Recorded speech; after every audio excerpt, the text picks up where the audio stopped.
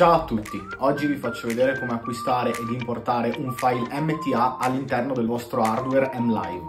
File MTA sono acquistabili dal sito Song Service solo dai possessori di Marish 5 Plus, Marish 5 Xintia 2, Divo Plus, Pro e Bibit. Per acquistarli dobbiamo recarci all'interno della nostra applicazione di riferimento, nel mio caso nel Bibit Manager, e fare il login con le stesse credenziali con cui ci siamo registrati all'interno del sito di Song Service.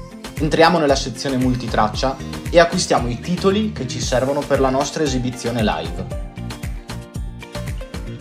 Dopo aver effettuato il pagamento, scarichiamo il file zip ed estraiamo il file con estensione MTA.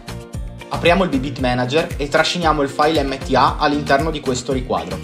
Da qui possiamo accedere a tutte le potenzialità che i file MTA offrono, mutando, isolando o modificando i volumi a nostro piacimento. In un contesto live possiamo farlo anche all'interno di Bbit, cliccando in Menu, Edit Tracks.